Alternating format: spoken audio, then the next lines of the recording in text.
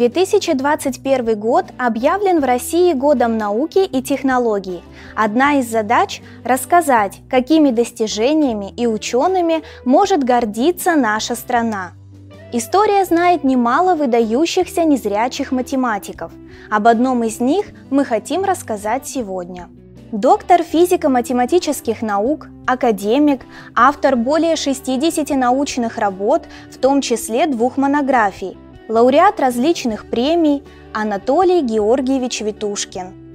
Анатолий Витушкин родился 25 июня 1931 года в столице, в Замоскворечье, в семье служащего. Со старшим братом Колей они росли обычными городскими мальчишками.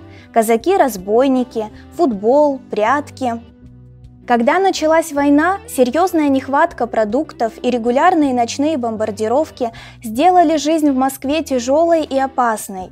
Тогда мама Полина Ефимовна решила отправить сыновей в деревню под Шатурой, откуда была родом. Но и там было очень голодно. Анатолий Георгиевич позднее вспоминал, как ели ворон и варили картофельные очистки. В 1943 году Анатолий был принят в Тульское Суворовское военное училище.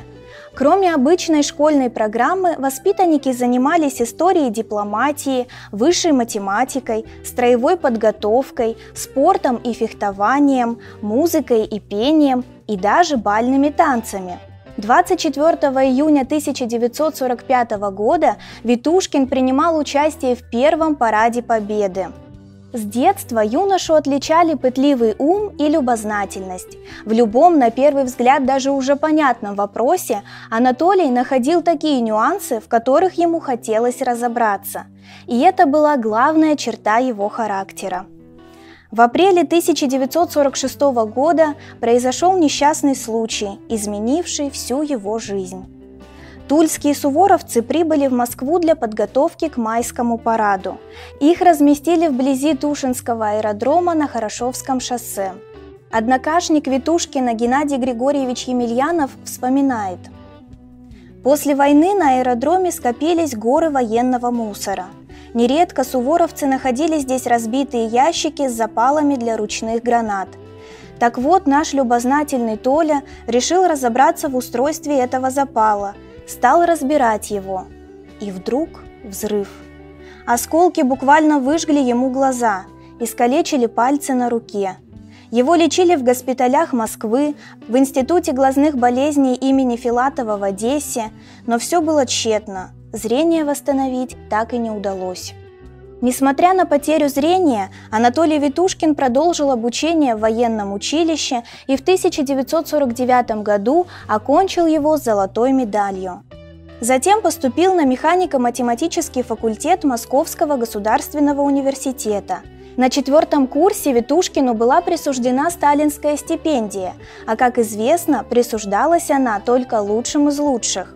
Напряженная учеба не мешала Анатолию принимать активное участие в общественной жизни университета. Он хорошо играл на баяне, занимался в фортепианном классе при университетском клубе. На студенческой олимпиаде Витушкин сыграл на рояле лунную сонату Бетховена, получил за это грамоту и премию. Талантливый студент работал учителем-репетитором на стройке нового здания МГУ, где готовил к поступлению в ВУЗ рабочих, учившихся в 10 классе вечерней школы.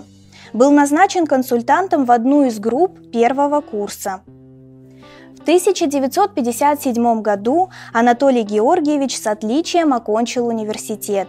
К этому времени он выполнил и опубликовал несколько работ, посвященных 13-й проблеме Гильберта – его научным руководителем был Андрей Николаевич Колмогоров. Сразу после защиты кандидатской диссертации он защитил докторскую. Затем начал работать в отделении прикладной математики Математического института Академии наук СССР. В 1960 году Витушкин стал руководить семинаром по комплексному анализу на механико-математическом факультете МГУ, который продолжает работу и по сей день под названием «Витушкинский семинар». С 1965 года до конца жизни Анатолий Георгиевич преподавал в МГУ. Он основал научную школу «Комплексный анализ» Математического института имени Стеклова Российской академии наук. Успешно проявил себя руководителем этой школы, которая получила мировое признание – Утвержден в звании профессора в 1971 году, удостоен звания заслуженный профессор Московского университета в 1999 году. Область научных интересов Витушкина – теория функций и смежные разделы прикладной математики, комплексный анализ и алгебраическая геометрия, теория информации и радиотехника – на высоком профессиональном уровне Анатолий Витушкин занимался радиотехникой. В 1980 году он предложил схему транзисторного усилителя, которая получила известность и сегодня не утратила свою практическую полезность. Основой интереса к такой деятельности послужил личный опыт усовершенствования домашней музыкальной аппаратуры. Много лет Витушкин был членом редколлегии журнала «Математические заметки» и членом редколлегии журнала «Известия Академии наук СССР», серия «Математическая». Витушкин любил делать все сам. Он считал, что мужчина в доме должен уметь все делать своими руками. Он сам чинил машину, зимой на даче сам чистил снег, легко разбирался с сантехникой – Математика занимала одно из главных мест в жизни Анатолия Витушкина, но не была его единственным увлечением. Ученый очень любил классику, больше русскую. В доме в свободное время читали Достоевского, Гоголя, Салтыкова-Щедрина. Он очень много слушал аудиокниги, любил смотреть фильмы. Любимая передача «Театр у микрофона». Летом на даче вся семья в половину четвертого собиралась у приемника и слушала радиопостановки.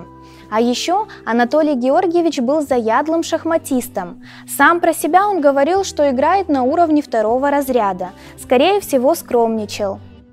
Не забывал Витушкин и свое первое увлечение – музыку. Часто с женой они ходили в консерваторию.